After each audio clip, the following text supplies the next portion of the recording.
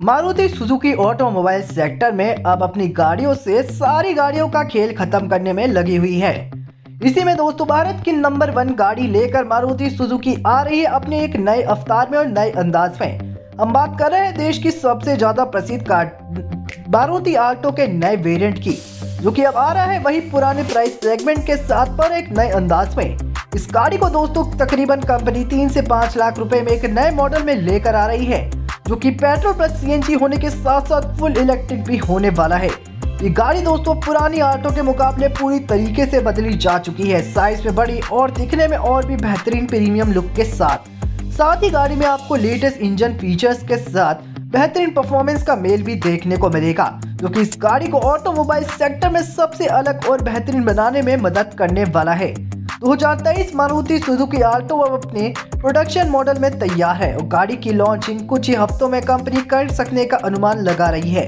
इस गाड़ी की कम कीमत भारत में सबसे ज़्यादा गाड़ी को नंबर वन बुकिंग में बेहतरीन बनाएगी। साथ ही बात करते हैं हम गाड़ी के डिज़ाइन की तो गाड़ी का जितना हो सके उतना साइज़ बड़ा करा गया है। इसको कॉम्पैक्ट रखने के साथ साथ गाड़ी के फ्रंट पे आपको एक शानदार डुअल टोन फ्रंट ग्रिल नए एलईडी हेडलैम्प सेटअप और नए फोग के साथ गाड़ी को एक नया अंदाज दिया गया है। साइड पे आपको dual shade LED tail lamp setup Suzuki Alto की क्रोम बैजिंग के साथ नज़र आएँगे और इस साइड प्रोफ़ाइल में आपको बेहतरीन 12 से 13 इंच तक के five spoke dual tone alloy wheels का सेट मिलेगा।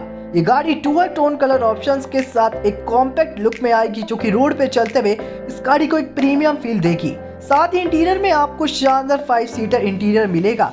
जिसमें आपको शानदार ऑटोमेटिक एसी नया डैशबोर्ड के साथ पावर स्टेयरिंग व्हील और एक सेंटर कंसोल 15 इंच की हेडअप डिस्प्ले मिलेगी। इसमें आपको कई सारे फीचर्स मिलेंगे जो आप अपनी टच स्क्रीन वॉइस कमांड और स्मार्टफ़ोन के थ्रू कंट्रोल कर पाएँगे।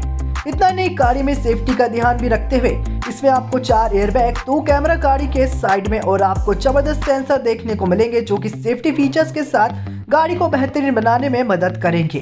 यहाँ में गाड़ी के परफॉर्मेंस पे आते हैं तो ये गाड़ी दो नए वेरिएंट में आएगी जिसमें आपको पेट्रोल प्लस सीएनजी का ऑप्शन मिलेगा। यानी कि ये गाड़ी 1.2 लीटर के पेट्रोल इंजन के साथ आपको 120 एचपी की पावर और 150 सौ तक का टॉक जनरेट करके देगी, जिसमें आपको सीएनजी 30 से 40 के तक का माइलेज आराम से दे पाने में सक्षम है। और दूसरा वेरिएंट फुल इलेक्ट्रिक रहने वाला है जो कि शानदार 50 वोल्ट की किलोवाट बैटरी के साथ आपको एक चार्ज पर 100 से 150 किलोमीटर तक की रेंज की गाड़ी दे पाने में सक्षम है। ये दोनों ही नए मॉडल जल्द ही कुछ ही महीनों में कंपनी रिवील कर सकती है, जो कि ऑटोमोबाइल सेक्टर में लॉन्च होते ही धमाकेदार एंट्री करते आम आदमी की खुशी होने वाली है। दोस्तों, अगर आप भी नई फैमिली कार लेना चाहते हैं तो नई ऑटो आपके लिए बेस्ट ऑप्शन है। इस वीडियो को एक लाइक कीजिएगा और जितना हो सके आम आदमी तक शेयर कीजिएगा। तो मिलते हैं ऐसी किसी गई गाड़ी के साथ, तब तक के लिए धन्यवाद।